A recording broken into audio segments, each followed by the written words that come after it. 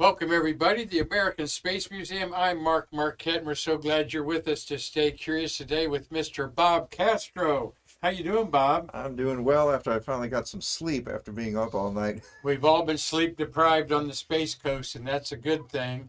Behind us, we have our heroes of Apollo 1 uh, in this beautiful uh, uh, uh drawing by new friend, Mr. Doug Forrest, who we met today at the American Space Museum. There's the entire uh, visual of his tribute to the Apollo 1. And Bob Castro is on the board of directors of the Apollo 1 Foundation. We're going to talk about that with him here towards the end. We've got a happy birthday to do there. Marty Winkel, my co-producer there, reminded me of that. Hey, Marty, how you doing? And we're going to work on getting Marty a microphone. In fact, our wonderful director, Karan Conklin, has okayed the purchase order of that party. So we'll get you on air because Marty and I like talking back and forth. We know that's a good part of Stay Curious because Marty is a living legend in our minds, working on the Apollo lunar module for Grumman. And you've done some documentaries about that, I'm sure. But uh, Bob, uh, tell everybody a little bit about what you do for a living and how you got to know the American Space Museum. Uh, well, I work in television post production. Um, we work uh, to help to uh, preserve chemical motion picture films. Uh, the films that uh, some of us grew up with that uh, had to be shot and then had to be taken to a laboratory to be processed. Um, so we do commercial films, scientific and engineering films, government films, and even some people's private uh, home movie collections. And this is where where do you do this at? Where do you live? Uh, Atlanta, Georgia, um, mm-hmm. um, just outside uh, of Atlanta, Marietta, Georgia. Uh, the company is called CinePost, C-I-N-E-P-O-S-T, and the website is www.posthouse.com posthouse.com. That's right. And so uh, videotape cartridges, audio uh, reel-to-reel or cartridge uh, tape cartridges and uh, motion picture films of all kinds from super 8 to 35 millimeter. We use broadcast equipment so we use the same techniques and gear. So uh, it's uh, the, the, very highest quality. In fact some of our clients do use it for documentary and broadcast applications. And uh, all of us there are experienced with this having uh, worked in the days when TV stations had film departments. Uh-huh. Film at 11. Yeah, Film at 11. That. So we, we grew up with it all and we know how, uh, how it works. I would advise that uh, people who have home movie collections, or maybe their parents did, and they're kind of hemming and hawing about whether they should get it transferred or maybe wait until Christmas, whatever. Don't wait because the equipment's no longer made and there are no more spare parts being made. So when they wear out because it's a mechanical process, that's going to make it tougher and tougher to get it transferred. Plus, all of us who work on the equipment and the techniques, we're not spring chickens anymore. right. And that information isn't being passed on. So, so hurry up and get it transferred. It's kind of like the lack of, uh, uh, Marty will relate to this, the lack of citrus growers here on Merritt Island are all gone because the, the families, uh, the kids didn't want to take it over. It's hard work and they got better jobs and so forth down there. So, uh, we've got a photographer in here. Roger, glad that you're here. If you could silence that beep, it's driving me crazy, buddy, on your camera there. Uh, uh, throwing my timing off a little bit. But thank you, sir. We're glad that you're here. Good friend of Bob's there. Roger's done, done you photographed stuff from the Gemini days, probably, did you? Thor, uh, 68, Thor went to the uh, Pentagon. Yeah, well, we'll have to get you on Stay Curious here one day, buddy. But thank you for silencing that. Uh, but we're going to uh, yeah, tell us how you got involved with the American Space Museum, Bob Castro. Yes. Well, uh, I was uh, a space kid growing up in the 60s. I remember the tail end of uh, Gemini and then, of course, Apollo and all those fascinating moon missions. And then uh, I, it was the best part about growing up at that time the space toys and, Absolutely. and Being a baby boomer and living yeah. uh, what, what, what everyone's talking about 50 years later That's is right. makes us feel old, but also makes us feel lucky that we were part of it. And then later As on, observers. Yeah, exactly. And then later on, when I got to meet some of the space veterans in college, one of my professors had been an NBC radio reporter, and I would listen to their stories of behind the scenes of what it was like. I thought, naturally speaking, that the first moon landing would be the most memorable thing. But it wasn't. It was the Apollo 1 fire because it was such a shock. Mm-hmm. It wasn't a, a, space mission, it was a test.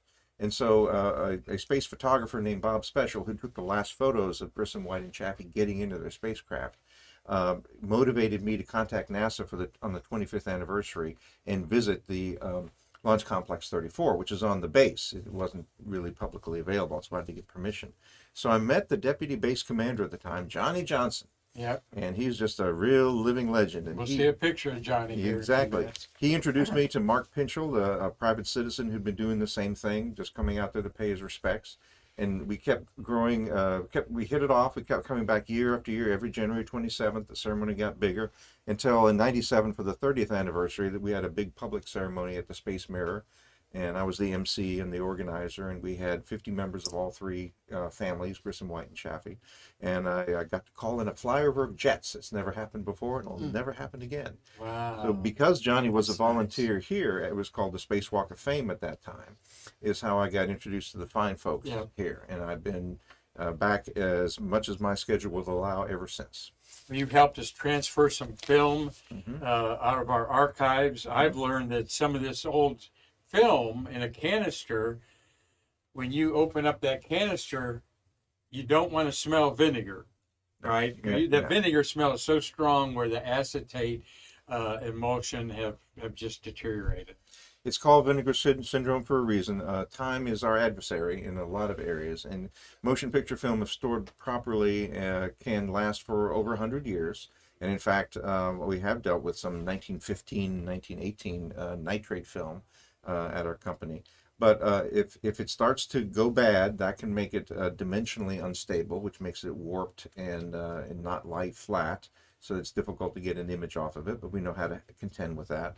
Also, unfortunately, the chemistry can uh, change and alter the color balance. Instead of being the, the natural colors that were when it was shot, it can take on a, usually a reddish hue, uh, Mhm. pinkish one, and we have to use more and more extreme um, corrective software techniques to try to correct for that on a moment by moment and second by second basis. But we know how to do that. And, and, and when I did retransfer the uh, museum's collection uh, in 2019, I had to use all the techniques in our toolbox to be able to restore it back to the way it would have been in the 1960s or 70s when it was originally shot. Well, uh, that when we're appreciative of that too. He's done some of this uh, to help us with our collection, like he said, and uh, though we're not known for an archival type base, there the things that we do have here. Uh, we want to, uh, uh, you know, make sure that we can have them for the future generation on there. Uh, I have left my notes over there. Our, uh, Marty, Hand me my phone over there a second, please. Yeah, thank you, Roger. There. Hey, Bruce. Hey. Bruce Jacobs is here, our IT guy. We're here with Bob Castro. Bob, talk a little bit about Bruce there. Well, I'm uh, uh, your relationship with our IT guy here and how fabulous he is. Well, he doesn't have one of those uh, uh, tall cone-shaped uh, hats with the moon and the stars on it, but he's the closest thing I've seen to a, an IT magician. yeah. Oh my goodness! And he's wearing a wonderful shirt that says "C DOS, C DOS run, run DOS run." And, he for- is known for his T-shirts and, around and here. for computer users of a certain uh, uh, vintage, they will understand and get that joke. Uh, me, I, I uh, took computer courses in college in the late 70s and into the 80s, still on punch cards using Fortran and printing out the output on green bar paper. And again, that's the way computers used to be used. They were the size of rooms, and then they, because of the requirements of the space uh, program, they had to be shrunk in size so they could fit on board a spacecraft. So we owe NASA a lot uh, in terms of our technology and our, our way of life. Well, we owe Bruce a lot because he's our monster of social media as far as uh, the uh, Google uh, system of, of things going on. Uh, you know, we had over 100 adult guests in this building, yeah, 120 yesterday, which is a lot for our, I mean, that's the most in a long, long time. And uh, record sales in our merchandise department. And it's because Bruce put it out there for all these people after the launch to see it there. So, uh, we were very grateful to him. Bruce, we need to get you on Stay Curious here. I'll have to, I'll have to rope him in here one day because we talk about him a lot, like we do all of our volunteers here. You've seen many organizations, all right? Uh, we got four paid employees, a, a handful of volunteers. Uh, how's it, the outside world look at us through your eyes? Well, it, you can just tell the love, the love that you have for this endeavor, that this is something worth uh, documenting and something preserving uh, the efforts to explore outer space, um, and because it was worth uh, taking the risks and overcoming the challenges to do it. It's one of the great stories of of all time, and I'm really glad that motivated, skilled, dedicated, um, meticulous volunteers are are willing to do that. Great stories of all time. Boy, you are a documentary maker. All right, that sounds good to me, Marty. Yeah, the, the, the U.S. Space Walk of Fame Foundation was founded about 25 years ago for the monuments at Spaceview Park, the only place in the world you can put your hands on the handprints of Neil Armstrong, Gene Cernan, Jim McDivitt, any of your heroes out there, except our Apollo 1 heroes here. They passed away before that was done, and we have beautiful reliefs out there of them. Uh, and uh, uh, but from the foundation in this Space View Park, people brought their stuff into the humble office and said, "My dad passed away. He worked at NASA. Here's his stuff." Right. And and it still comes in the door, Bob. You can't believe what our intake is uh, every week. Uh, that keeps uh, Nick Enix, our collection manager, busy, and uh, challenges us to what to do with it when we don't have multiples of it or, and put it in the collection or save it for the collection uh, we sell it to the space lovers out there, or some of that stuff is consigned, where you can get a hold of us and, and we can consign your uh, items and, and, and sell them. So, uh, but yeah, it's uh, uh, you know I've just been here five years and left 35 years of friends and family in East Tennessee for this museum in a positive way because I knew that uh, person like with my talents could be done out there. So, uh, uh, good. Someone said, quit hitting the table. Okay, Marty. Uh, he's got the headphones on. Must be bothering him. Well, with my little my little computer in my hand here, he says bothering everybody. Okay, well I'm a little keyed up today, and like I said, a little bit sleep deprived. Uh, with the launch, we'll know at six o'clock today at the press conference if things are going to go for Friday, or will it be maybe an October launch? But we want to honor always our astronauts, that uh, particularly our shuttle astronauts, because they're in communities doing great things all the time. Uh, do, do any Atlanta astronauts pop into mind that are in your community a lot? I'm trying to think of who's born in Atlanta or comes back Uh, to Atlanta. let's see. Um, ooh, his name. For us, it's Winston Scott and Right. Mike McCulley live around here. And Uh, let's see. There is one in. I know that John Young attended uh, Georgia Georgia Tech. Tech, yeah. Georgia Tech, and there were some others. That's right. And um, as you as you speak, it'll probably occur. Yeah, you. speak it. Yeah, I just say, but uh, true, right? They're in all communities doing right. things visible out there. And happy birthday to this young lady, Megan McArthur. I left my notes of Megan. I didn't print them out actually, but so I can. She was born August 30th, 1971. That makes her 51 years old. Her hometown is Honolulu, Hawaii. All right. She's married to Bob Behnken, who is a pilot of the first Crew Dragon demo, and then she was pilot of uh, Crew Two. How cool is that? You're sitting in the same seat your husband sat in That's right. in a private spacecraft. That has to be some good uh, dinner discussions between the two of them.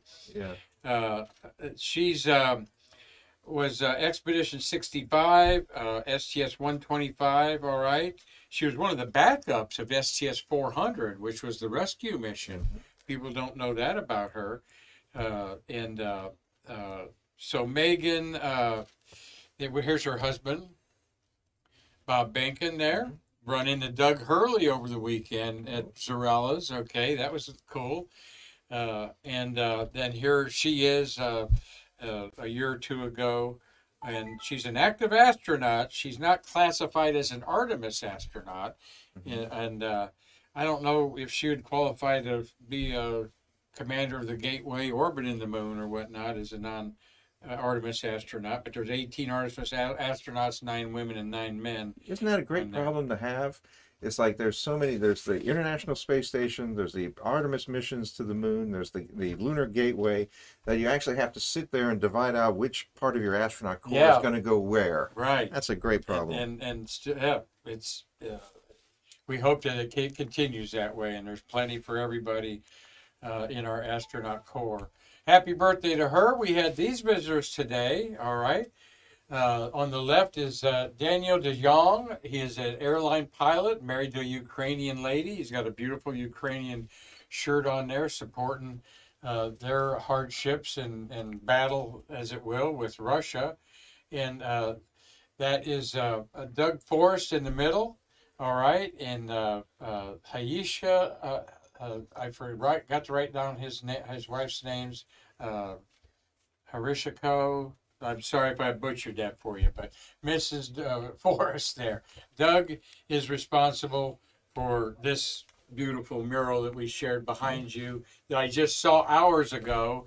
And then uh, I threw it in there in our slideshow because we're going to be talking about Bob Castro and his affiliation with the Apollo 1 Foundation. So thank you, Doug. Nice to meet you. And Daniel also here uh, in our in our museum. So uh, we have got a couple launches. Bob, you know we celebrate space shuttle history like no other. Nine space shuttles launched in the month of August. The last two, 41D in 1984 on August 30th, and STS-8. This is STS-8 in 1983. All right, uh, on the 30th, um, and um, both these missions had a total of nine astronauts, and the only experienced guys were the commanders. All right. So here, here you have nine astronauts going up to space. Each one of them, one had five, the other had uh, uh, four, uh, six, and uh, they had 11 astronauts total, six and five. All right. This had five on board. And all of them are rookies except for the commander. I wonder when that's happened last time. But this is Tom Usiak's beautiful night launch photography there, which Tom's uh, looking in here today. We had him and his brother on the uh, last week. Uh, Tom, quite challenging your night launches with the unknowns. The eighth shuttle launch, the first night launch. Uh, yeah, were you guessing at what f stops and so forth to use? use daylight plus one stop open. Okay, so so they, they had a formula, and this is with a beautiful Hasselblad camera. That go see uh, us talk about those Hasselblad cameras. Uh, when was that? Last Friday we did that, or la- yeah, last Friday. we did that. So check that out on our YouTube or Facebook library there. But uh, this is a picture Tom Usiak took. What an awesome photo! Looks of Guy Bluford there. He's looks like he's ready to go, man. He's looking in Tom's camera and saying, "I'm ready to go to space right there." All right, and we have there with him as I consult my shuttle scroll here that I have data on. That's uh, uh, Dale Gardner there to the right, and Richard Truly's the commander right there behind Guy, and looking up.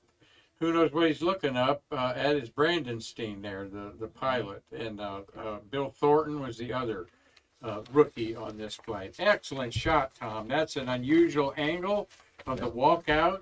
Probably the last time they let him stand there. Well, that was because it was pouring rain. Oh, it's pouring rain, but that's why Brandenstein's got his hand out there looking in there. Right. So, uh, uh, pouring rain a couple hours before the first night launch.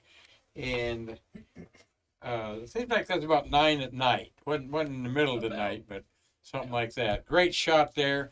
We want to talk a moment about uh, Guion Bluford, the first African American to go to space. 17 others had followed him. 19 if you count the two suborbital African Americans, and one is Michael Strahan. The I think of him as a football player, but uh, everybody under 40 knows those. What, what is he on? Good Good Morning America or uh, on there. Great guy. I'd love to meet Michael Strahan. Seems to. Uh, but uh, Guy Bluford was born in Philadelphia. He had four missions. All right, this is one of his last missions because he's kind of gray there. And uh, here's another uh, retired picture of him. His last flight, Bob Castro, was 1992 Wow. uh, and on STS uh, 53. So he's he's looking at 30 years ago is when he flew to space. Um, you said you didn't have any direct dealings with Guy Bluford, except uh, tell us what, what you did do. Uh, we do. We got some uh, film. It was in the collection and uh, of the Apollo One Memorial Foundation, which we also uh, transferred.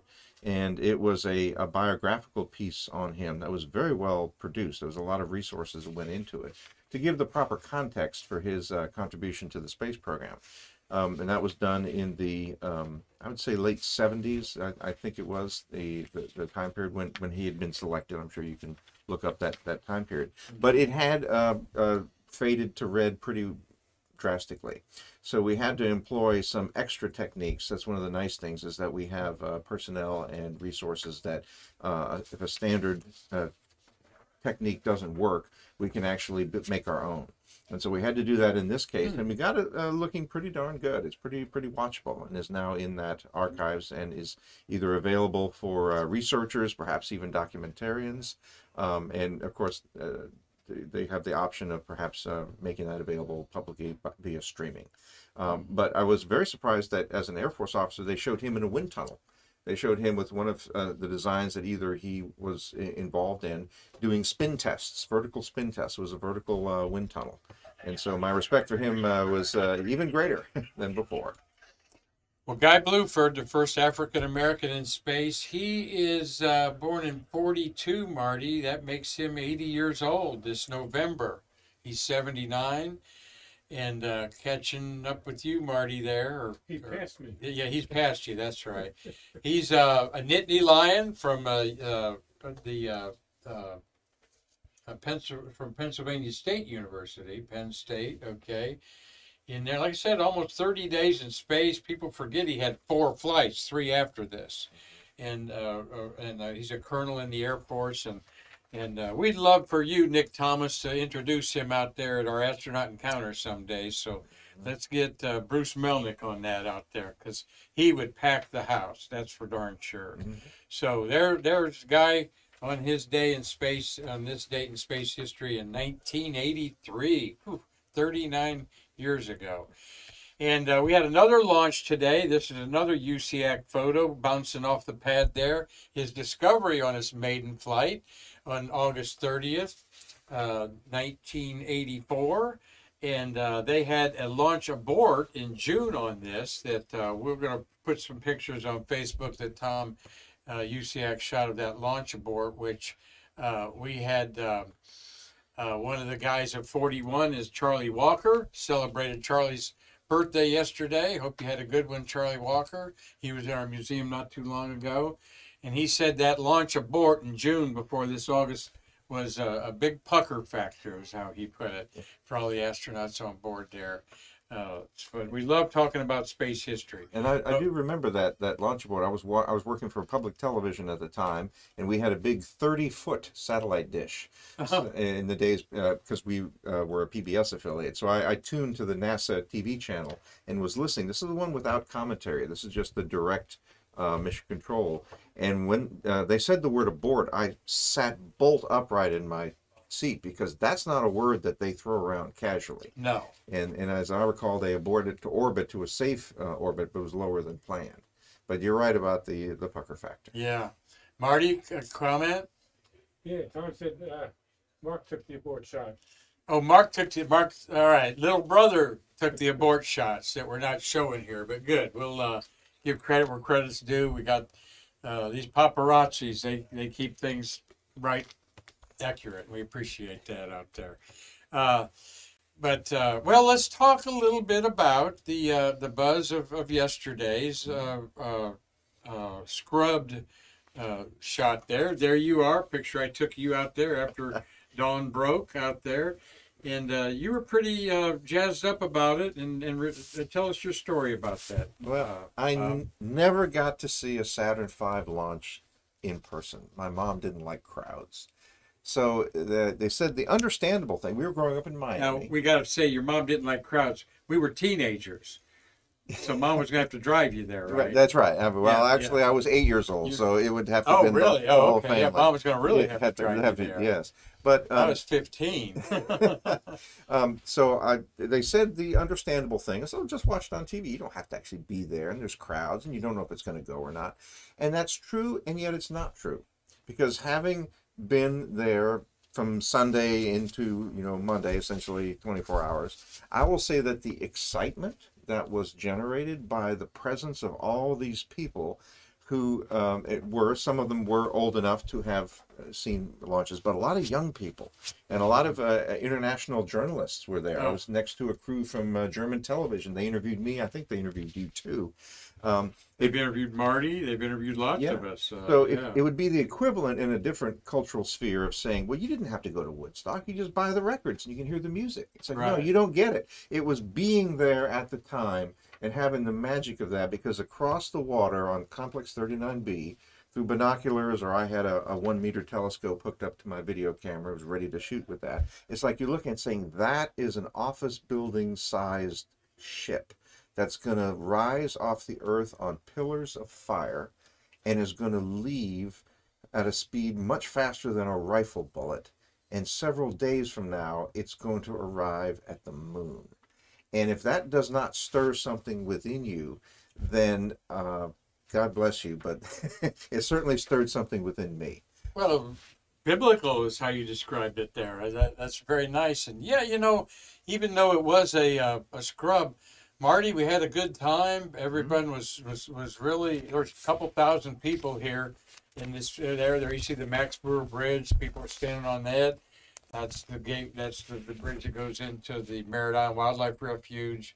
Uh, uh, you know, too bad. I think people generally, I didn't hear an angst of disappointment because they enjoyed the circus, not such circus going on, but and everybody had to get up at two, three in the morning to get there, and at five, six in the morning, to a bunch of us are used to getting up at eight, you know, or seven. It was sort of like kind of quiet, you know. I bet they could. I, if I had a, if I had the smarts, I'd had a coffee uh, machine there, uh, cranking out coffee for everybody. But uh, we'll find out this afternoon uh, what's going to happen uh, with their uh, decision to uh, scrub and when they can launch again. It was an anomaly, as they described it.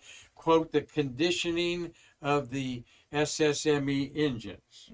You know, Marty's worked was a uh, manager in the space launching launch pro- space launch process system for 30 years. He's never heard it referred to like that uh, as a conditioning of the the engine, which was they were putting that cool hydrogen through it. It has to spin through and and make it so it would work on there. So. Uh, uh, the uh, uh, the terminology's even changed, though the, the hardware stays the same on there. So The important thing to put the context is even though technically it was uh, it was a, a launch scrub, and so technically you could say we it, it was a a less than um, a desirable outcome.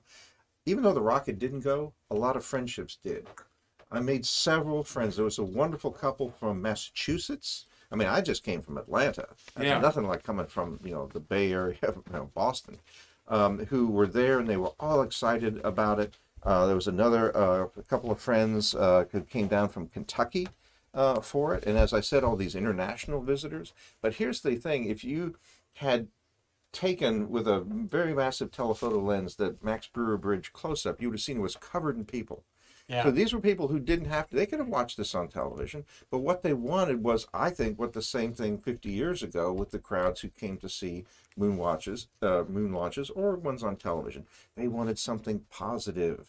They, uh, with because of the turmoil and the angst and the bad news that was occurring back in the 60s Mhm. and in some ways today, people gathered together from all these different geographic regions, all these different cultural backgrounds to share in something that was positive, was good and decent, and it had the um, potential and will eventually uh, to have great scientific and educational, maybe even industrial uh, uh, payback.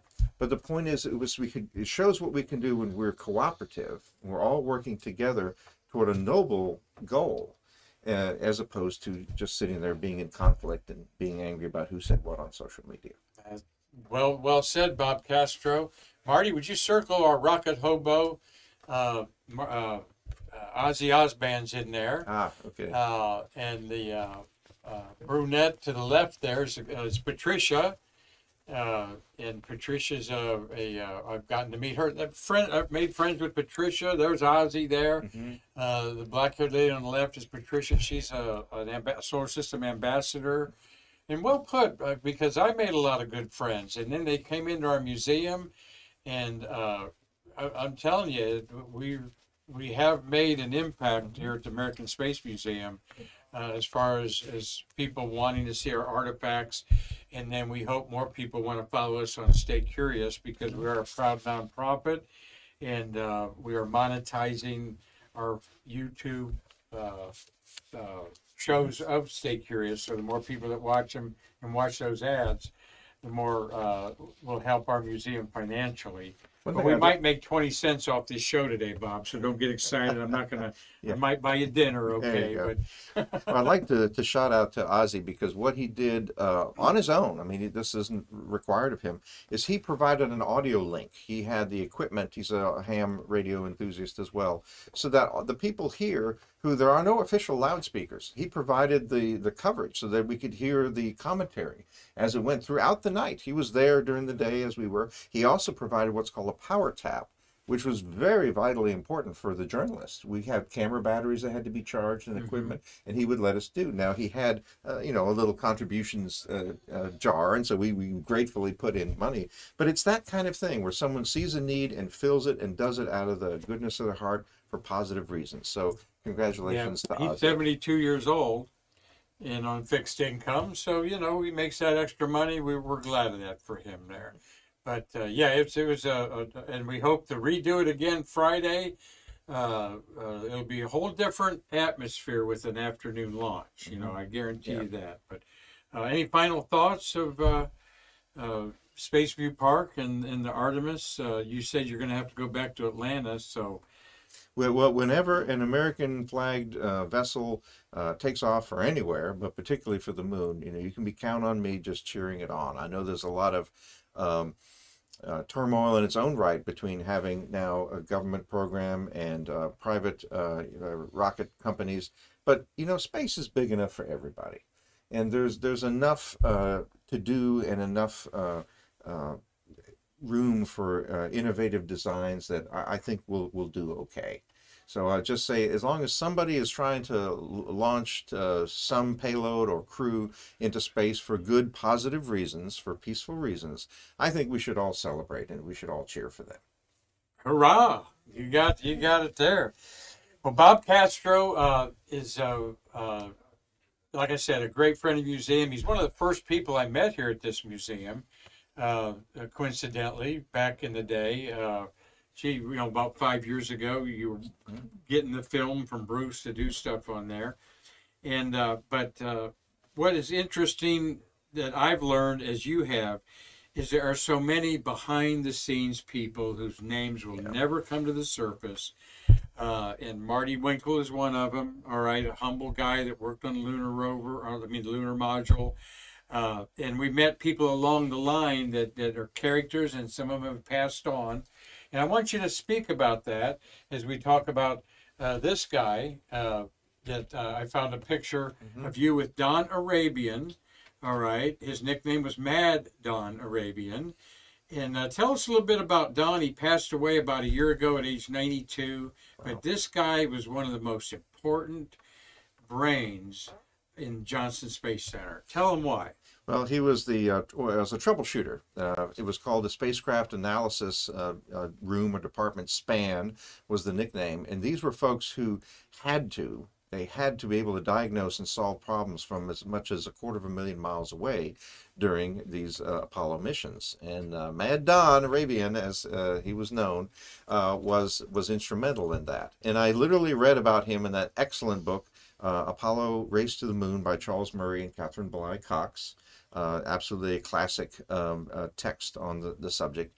And he's mentioned in there along with people like Sam Beddingfield and John Tribe and uh, other luminaries. And uh, because of my involvement with the Apollo 1 Memorial Ceremony and uh, the museum, I've gotten to meet a lot of them. And, uh, and Don was one of them. I, I actually interviewed him for my own documentary, which I'm doing on the original launch sites of the early space program. Uh, uh, Roland Miller is a space photographer who I met because of the Apollo 1 memorial ceremony, and his beautiful interpretive uh, landscape type, coffee book type uh, pictures are, provided a, a, lot of motivation to me. Don had to be able to um, separate, well, he said that if you have uh, 20 data points and 19 of them line up, but one does not, you can't make the leap to saying, yes, I understand what this problem is. You have to be able to understand all 20. And, and it, he was given the particular imperative because human life was on the line. The astronauts' lives depended upon their ability to identify, isolate, and repair problems with the spacecraft while it was going on. So, of course, during the Apollo 13 mission, which had its troubles uh, going to the moon and, and, and getting back, as well as the more um, um, missions that um, went to script, um, they were always busy. They were always busy isolating uh, problems, looking at telemetry. And the interesting thing is that um, he says we didn't need any fancy consoles. Their room uh, was described as having a series of uh, church tables, like you like a church would have in a basement. Uh, they had uh, senior members of all the contractors there. So if they needed to ask a question of Grumman or of North American or Lockheed or whoever it was, they had senior people there. They did have monitors on the uh, ceiling or on the wall near the ceiling, and they'd have the binoculars looking at the same monitors that the crews in the mission control room, the uh, mission operations control room, were looking at. But they were running them for interpretation in order to solve problems. And yes, they were quite successful. So we, uh, the the country, um, the astronauts' lives themselves, we all owe a debt to Don Arabian and his colleagues in SPAN. So I would say look that up, and if you can, get a, a copy of the Murray and Cox book, Apollo Race to the Moon. You will not be disappointed. You hear hear that, John Tribe? Bob Castro thinks you're a luminary. All right, there, and, and John Tribe's uh, doing well, and he's they're getting ready for the next rocket reunion in November, and uh, he's a great great friend of our museum. We love John Tribe, uh, and his wife also is a, a great space uh, worker. Uh, the um, I want two quick stories about Don Arabian. Uh, one, he's a very boisterous guy. I liked him because he swore a lot.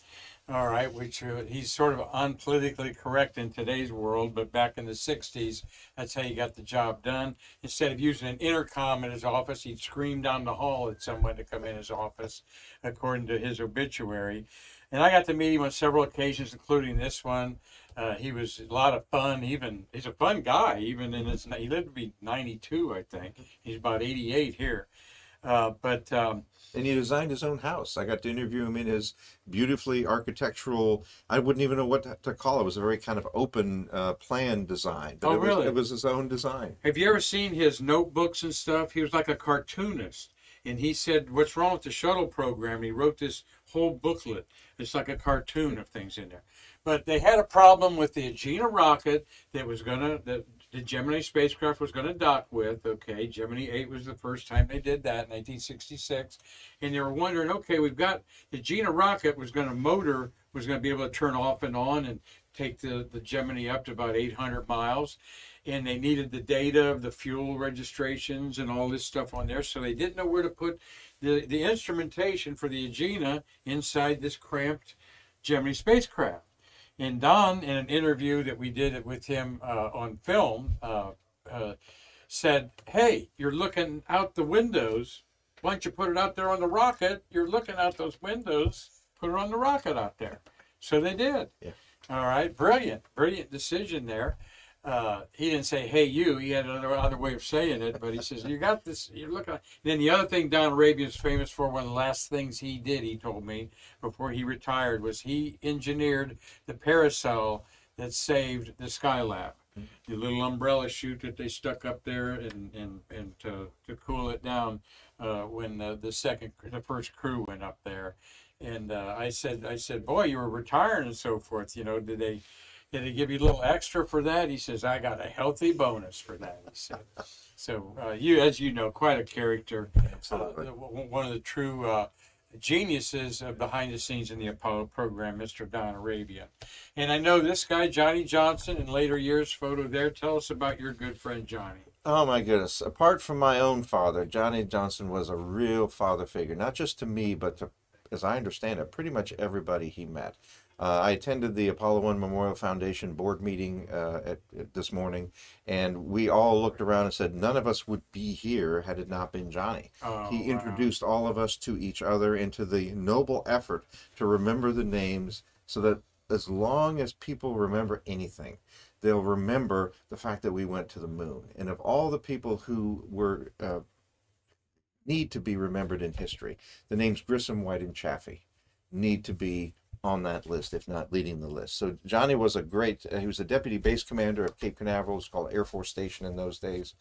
But even after his retirement, he still was very active in escorting uh, visitors out there of, of a press nature. Uh, movies. If you see the movie Armageddon, uh, he actually appears in it because he was so instrumental in Oh, getting really? getting the movie crew uh, out on location onto the you know the space shuttle uh, was just a few days from launch and they were actually shooting out there with a, a live space shuttle which is not a trivial thing to do um, but he was just a marvelous man and would just if- particularly for young people if anyone showed an interest in space uh, flight or doing anything noble he was right there with encouragement and um, and just providing an example in a, term, a turmoil-filled world of what leading a good and decent life could be. And he's missed. We lost him a couple years ago, I believe, and right. I never got to meet him, but he was well known to the the the uh, founding fathers of our U.S. Space Walk of Fame Foundation, the American Space Museum. Um, you know, when we talk about these these uh, guys here, uh, let me get. Uh, uh, I really am. It kind of upsets me when I see a beautiful poster of, of all of the mission patches or a mug or something that have got all of the Apollo missions on there, and oftentimes Apollo One's not on it. Uh, and they should start everything with the Apollo One patch. And now that I mention it, you'll notice things that you have in your home that might celebrate uh, the Apollo program. And uh, the Apollo One, it should start with the Apollo One, not Apollo Seven on there. But uh, that's my editorial comment for the day because we're going to talk about one of the most amazing days of my life, thanks to Bob Castro. All right. Uh, I'll, I'll, I'll set it up here with uh, the brother of Gus Grissom, uh, is an outstanding human being. Tell us about Mr. Lowell Grissom. Well, uh, I was very surprised to learn that uh, Mr. Lowell worked uh, in the space program. He worked in the in the Atlas program. I believe it was in uh, not at the Cape area, but uh, closer to the point of manufacture. Uh, but he too just you could just tell that he was from the same stock. You could just get a reflection of what Gus would have been. And in fact, an interesting story is in uh, 1997 on the 30th anniversary uh, when uh, my fiance at the time, my, uh, my wife, was in the audience, and there were two guys that were in front of her, two old guys, and as Lowell was speaking, representing the Grissom family, uh, there at the Space Mirror, one of the guys leans over and goes, "You know, he looks and sounds just like Gus." Yeah. You know, if you kind of squint your eyes, you can imagine that. he does look like Gus. He, he does. a- a- An older, age. I mean, they're uh, good friend of our museum. He comes around for our astronaut memorial every uh, January, the last Saturday of the month. It's going to be Sunday this year, the last Sunday of the month. Tell you more about that as we go along, because the, the the Jewish consulate has asked that we do it on a Sunday so they can honor Ilan Ramon. Oh, okay. And uh, but he shows up at our American Space Museum. He's got a Gus Mobile sweatshirt on. This is this was January twenty seventh, uh, two thousand nineteen, I believe. That is Gus Grissom's flight suit. The picture of him wearing it with his two boys there. I had privileged to meet Scott. We'll talk about that in a minute. Uh, and uh, just champions his his brother uh, in a, a very positive manner. Okay, and he also worked at McDonnell's uh, as a PR person. Basically, Okay. he was in public relations at McDonnell's that built the the Gusmobile, and it's called that. Why is it called the Gusmobile? Well, as I understand it, Gus had a lot of input into its design and layout. Of course, he was a fighter pilot, as as uh, all the Mercury astronauts were, uh, or uh, an accomplished uh, aviator. Um, and and so, as I understand it, uh, Tom Stafford would say, "Yeah, I can tell this was made by Gus because it's short like he is." Tom was tall, and it was kind of a, a little cramped. He felt until he got up into weightlessness. But he had a lot to, to. If you think about it, Gus Grissom was the second Mercury astronaut to fly after Alan Shepard and he uh, was instrumental in, in a lot of the pilot uh, design uh, input for the uh, Gemini flight. He flew the first manned Gemini mission. He was assigned to be commander of the first Apollo mission. And so you can see the amount of uh, weight that they put on his opinion. I remember Wally Schirra saying Gus was a, uh, was a man of few words, but he was a superb engineer and you could hang your hat on anything that he said. And then uh, supposedly Deke Slayton said that had it not been for the fire, Gus would have been the first man on the moon. Uh, There's no question that he would have had the first shot to be uh, to have his team and choose who he wanted to go. From Deke Slayton, who was the chief of the astronaut office, with Alan Shepard assigning those things on there. Uh, yeah, quite uh, uh, you know, quite stirring to hear this history from from the, the, the mouths of the people there. Marty, we had a great uh, honor to interview uh, uh, uh, Mr. Grissom Lowell there. That was March uh, 2020, I think, right before we, we closed of COVID, a couple of months there. So there's our set there. Uh, uh, that were we set up in the Gemini Gallery. Now we're in our entire studio here uh, at the American Space Museum. But we look forward to uh, many more years of you coming around here, Mr. Lowell, and uh, I'll try to send this to him. Uh, he lives in uh, um, he lives in St. Louis, but tell us where uh, they grew up and what goes on uh, in their childhood home. Well, uh, Mitchell, Indiana, uh, is where they, they hail from. And one time I asked uh, when uh, the older brother, Norm Grissom, was still uh, with us, and they were out at Complex 34 for the annual ceremony. I asked the two of them, I said, Is there any stories you can tell on Gus, you know, growing up? Because his career as an astronaut is fairly well documented. But what about, you know, what was it like to grow up with Gus Grissom? And Lowell paused and said, Well, one time that they were given the assignment by their parents of, of getting a cow. They had to get a cow from one place to another. And so had some kind of uh, harness uh, uh, on, the front, a bridle, and but the cow was not cooperating. And so uh, Norm and Lowell look at Gus, you know, say, "Hey, can you help us out here?" And it was like, "Ah, s- looks like you got this under control. I, I don't, I don't want to, don't, you don't need my help any." but it showed how down to earth they were.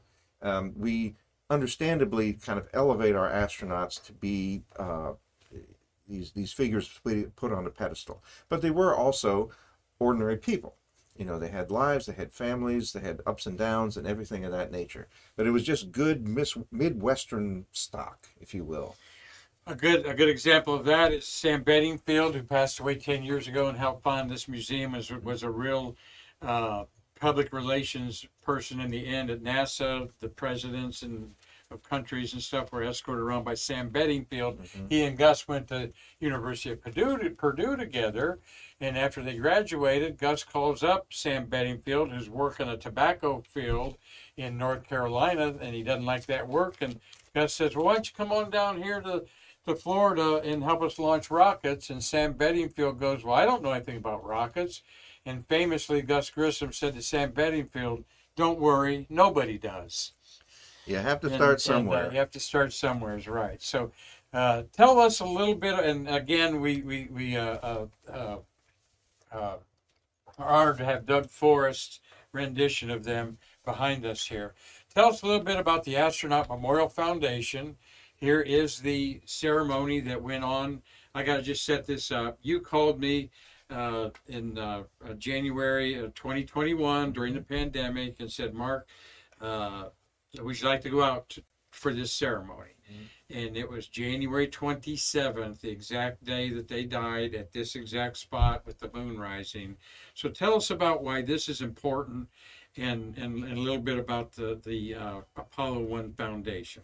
Well, I imagine that Civil War soldiers, when they would talk about Gettysburg, would probably be able to call up the same kind of emotion that comes with either people in the space program. Because it, it was for me, I was just, you know, a kid in Atlanta, but I'd hear these space veterans, a photographer Bob Special, who took the last photo of Gus going in there, um, uh, an, NBC radio reporter talking about covering the story. And it's like, well, I got to go there. And once you're there, you just feel the ground resonate with the history. You just realize that this was an amazing place that they were attempting to leave the earth and, and go to the stars. And as sad as it is to say, they were actually successful. This is where they left the earth for the last time. And so you cannot go out there and remain unchanged. You Uh, either duh, yeah, it, it- it's one of the most uh, top five things in my life I'll never forget uh, because uh, as a teenager and the headlines over the news and so forth in Findlay, Ohio, and then here uh, uh, fifty some years later, I'm standing on the hollow ground. It's hollow ground, and I don't understand why NASA doesn't take people out there every day for free. But uh, uh, I already had one comment, editorial comment today, so I better not say that. But uh, very humble. Uh, uh, guess uh, who who gets invited out there? Well, it's after uh, Mark Mark Pinchel was kind of the founder of the ceremony. He was another private citizen with no official connection with the space program, and as I understand it, in uh, the mid '80s, he wrote for uh, permission to, to go visit the site and did. And at that time, he said that the the substance of this of the memorial ceremony was him, a security card, and a boombox. Uh, that he would leave some flowers and and say some uh, prayers, and and that would be it. So in 1992, on the 25th anniversary, when my mom and I had driven down there, and uh, we were out there at, at, at noontime uh, because it was NASA that was taking us around. Well, this Air Force truck drives by, and in it is Johnny Johnson. And he said in his own particular way, I'm always curious who's nosing around my cape. so I told him why I was there and said, Well, there's this young fella that comes out every year. You ought to stick around and meet him. So, needless to say, Mark and I hit it off immediately, and we kept coming back year after year, and the ceremony kept growing. So, um, in, in the 97 ceremony in, for the 30th anniversary, we had probably about 50 members of all three families. And they had been, it was the first time there was a public ceremony since their funerals Is to right? recognize the- thirty years to recognize. to it. recognize that. Now, the thing is, the we knew that the people in the program had not forgotten, uh, but they had internalized it the way that they personally chose to do. Uh, but there was a whole generation, or you know, generation and a half, that had grown up without knowing about their sacrifice. So that right there, that bronze plaque, was paid for by Pinchel's family. That was not a, NASA thing, and that's not a criticism of NASA. Their job is to be going and exploring. And Paid for by whose family? uh, Mark Pinchel's Mark family. Pinchel. Okay. And and that, that bronze plaque uh, cast and attached to the remains of the launch stand lists um, Grissom, White, and Chaffee uh, and what happened there and the date and the time, so that all of us could remember. And it, it- each of us carries shards of history with us. We can't just say, look back and, and say, well, I'm going to sit back and let professional historians and professional archivists and big institutions keep history. All of us have these interesting little stories that we have that will be self-extinguishing if they're not written down or recorded or told to someone else. The stories will disappear when the people do. So it's really up to us, without any sense of uh, resentment or rancor, to say, look, I'm going to do my part to help remember history, whether it's at Pearl Harbor or Gettysburg or some other site. But uh, you coming out there uh, helped me to see the event through your eyes as a new visitor. And whenever people speak of brave men or great deeds, Grissom, White, and Chaffee, their names need to be remembered. And it, it shouldn't have been us. I mean, I was a kid. I was on the living room floor with my space toys, following along with the missions. It should have been Newton, Isaac Newton. It should have been Robert Goddard who developed the liquid fuel engine. It should have been Jules Verne or H.G. Wells to see us land on the moon. But it was me. So my responsibility is to e- enjoy and to mark the importance of that, and then to tell others about what it's like when we actually choose to work together because we're uh, differences are inevitable, but division is a choice.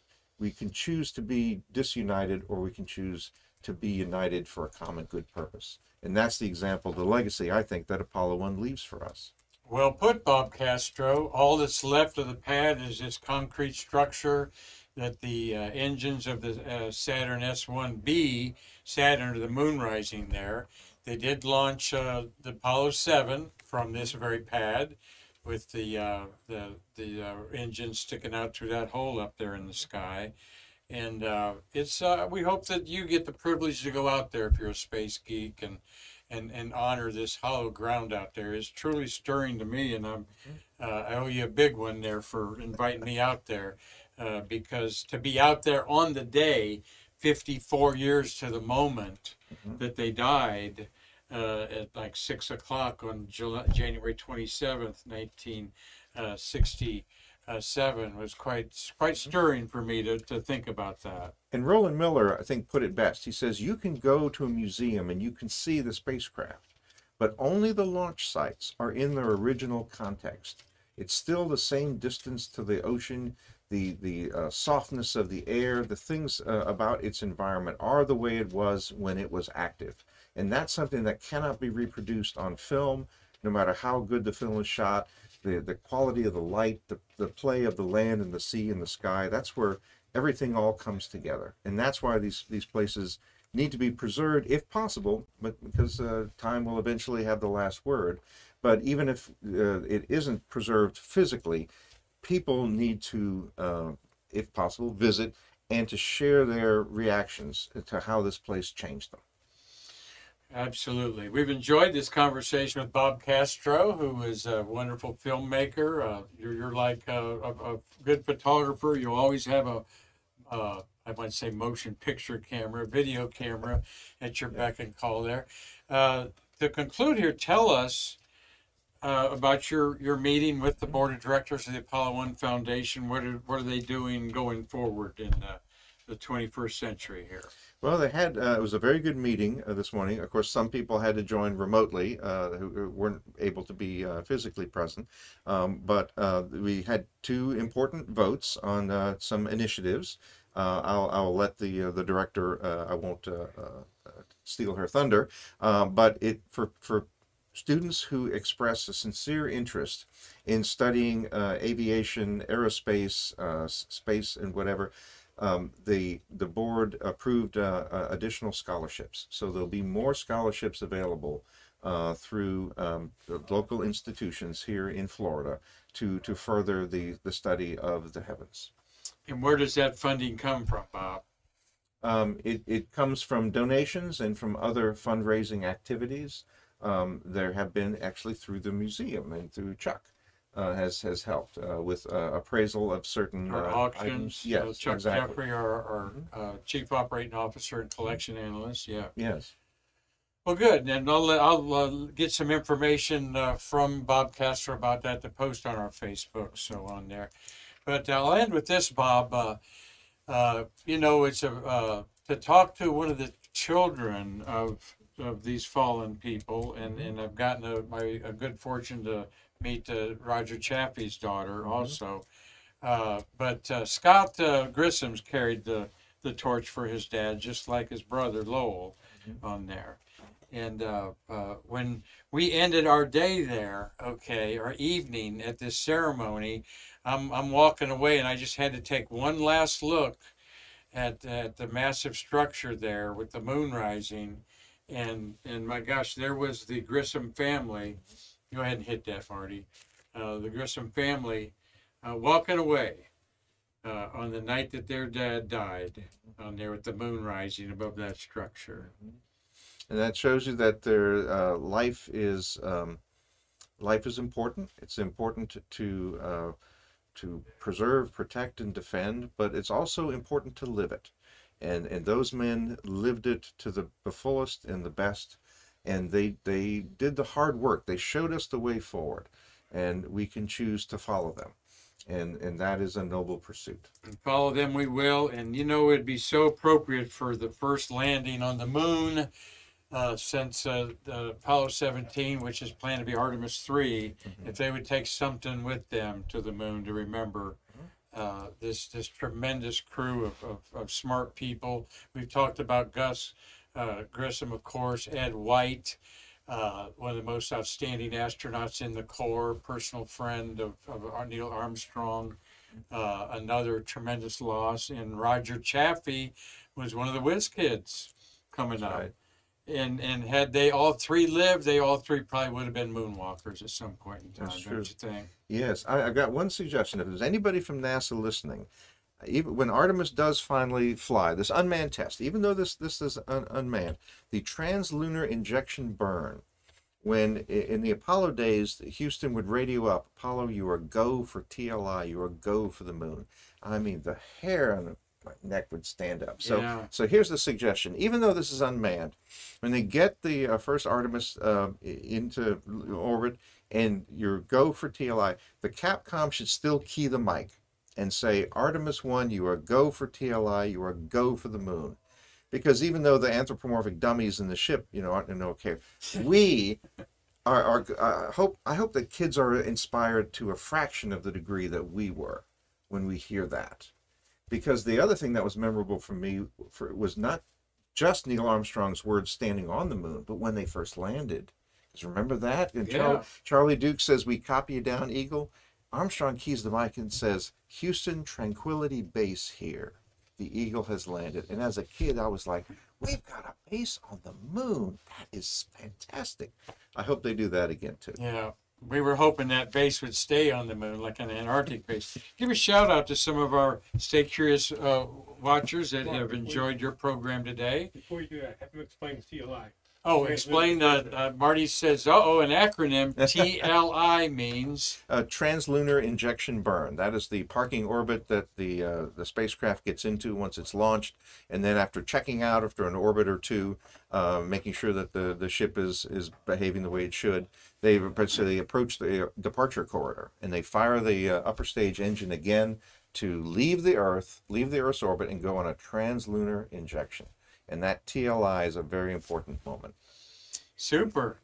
Get in your best voiceover All right. voice there. Uh, let's uh, say welcome to some of our listeners out there. Well, we have Cynthia Ross. Is that Ross? Rossi, uh-huh. Rossi, Rossi. Gary Jareel, Gerald, Gerald, okay. Dave Dave Stangy. You Stangy, butcher that, Dave. So Melissa Pody, Pope, Pope, oh, Pope. Uh, Adrienne Patrick, good enough. okay. Uh, let's see, is that Carlton Bailey. Carlton He's Bailey. photographer Okay. buddy. Ah, yes, I've seen He's some of your work. he's been on Very, very good. Curious, Thank yeah. you.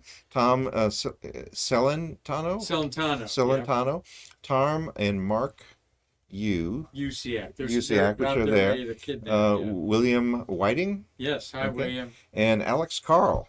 Alex Carl is our ESA or Eurocom that was watching our show yesterday. Oh, Uh, and and com- he he messaged me. Alex said we're gonna do. Uh, has been our show a couple times Mhm. here in our studio, and then we've done remote in Germany with him.